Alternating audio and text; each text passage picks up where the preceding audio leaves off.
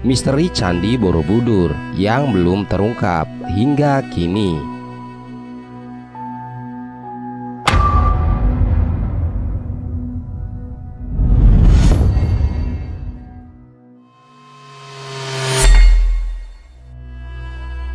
Borobudur merupakan salah satu keajaiban dunia peninggalan nenek moyang orang Indonesia.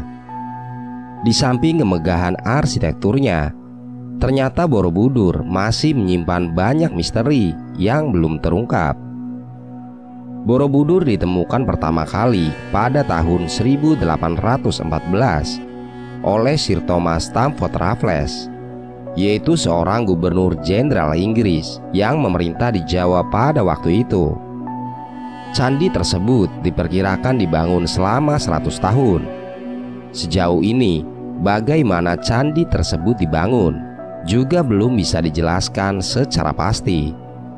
Namun, berdasarkan pengamatan para arkeolog, dulunya candi ini memiliki satu stupa raksasa di tengahnya karena khawatir akan runtuh karena tekanan yang terlalu berat. Maka stupa raksasa ini diubah menjadi satu stupa besar dengan tiga tingkat stupa kecil-kecil di sekitarnya. Namun bukan hanya soal konstruksinya saja yang masih menjadi misteri. Ada beberapa penemuan lain yang masih menjadi tanda tanya besar hingga kini. Berikut di antaranya Ukiran UFO di relief candi Dari beberapa peninggalan purba kala dunia yang memiliki relief menggambarkan penampakan UFO atau piring terbang Ternyata Borobudur salah satunya Namun belum bisa dipastikan kenapa dibuat pola seperti itu Apakah itu memang benda UFO yang dimaksud atau simbol lain?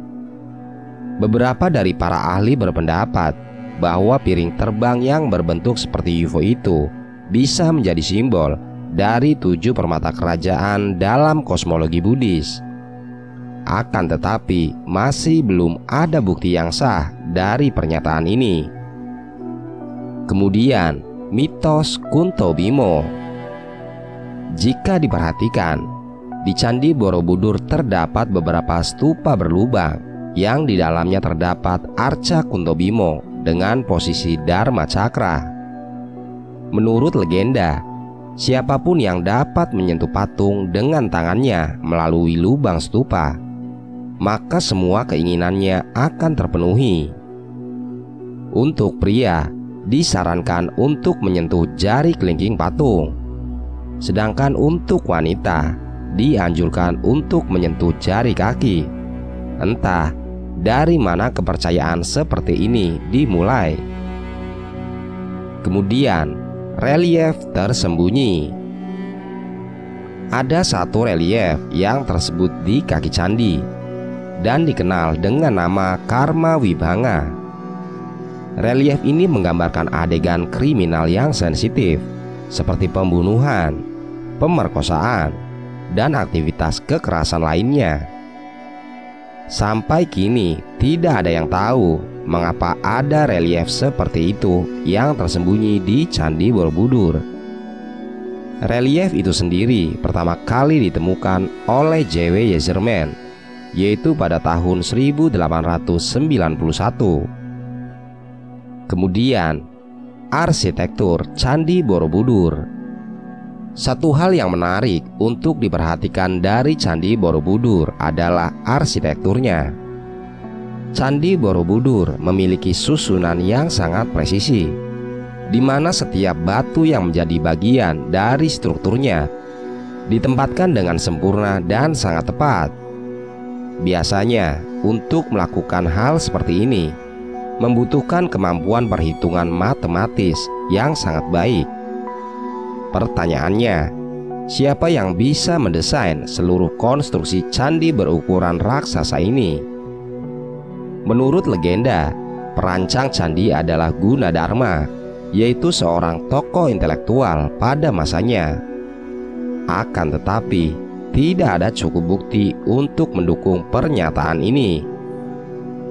Kemudian, dibangun di atas danau purba seorang mahasiswa dari jurusan geografi Universitas Gajah Mada bernama Helmi Murati.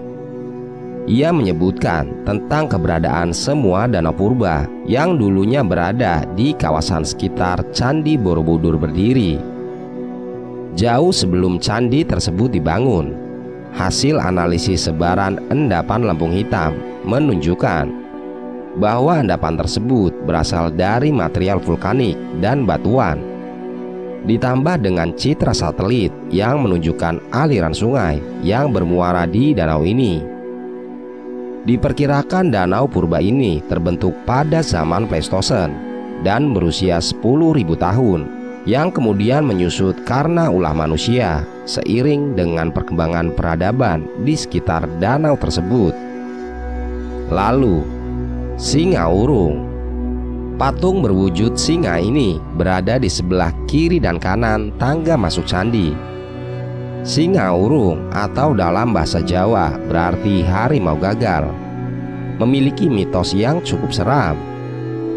Menurut mitos yang tersebar, jika ada pengunjung yang menaiki patung dan berkata kasar, maka ia akan didatangi singa dan selalu dihantui dalam mimpinya. Mitos lainnya juga menyebutkan bagi sepasang kekasih yang mendekati singa urung, maka mereka akan putus atau gagal menikah. Meskipun begitu, ini hanyalah sebuah mitos dan belum bisa dibenarkan. Kemudian ada jam raksasa di Candi Borobudur. Tak hanya menjadi tempat bersembahyang, Borobudur juga memiliki misteri tentang jam raksasa. Candi Borobudur memiliki 72 stupa berbentuk lonceng terbalik. Stupa utama di tengah berfungsi sebagai jarum jam dan stupa kecil di sekelilingnya sebagai penanda. Sinar matahari menghasilkan bayangan untuk stupa besar dan akan melewati stupa di bawahnya. Namun, masih belum diketahui pasti cara membaca waktu pada jam tersebut. Hingga saat ini, misteri jam raksasa belum bisa dibuktikan dan dipecahkan secara ilmiah. Benarkah ada jam itu? Seorang arkeolog menyebutkan bahwa sangat mungkin Candi Borobudur ditinggalkan ketika pusat pemerintahan itu berbeda walaupun itu tak benar-benar hilang dari memori masyarakat. Jika memang begitu, Candi Borobudur sudah ditinggalkan oleh penganutnya beberapa abad sebelum candi-candi di Jawa Timur. Borobudur tak sepenuhnya terabaikan. Buktinya, keramik dan koin Tiongkok dari abad ke-11 dan abad ke-15 ditemukan di sana.